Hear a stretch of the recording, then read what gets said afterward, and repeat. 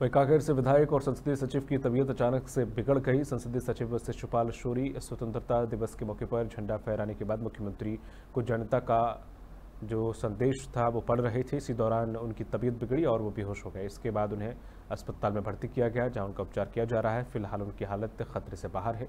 doctor ने बताया कि उनका बीपी और शुगर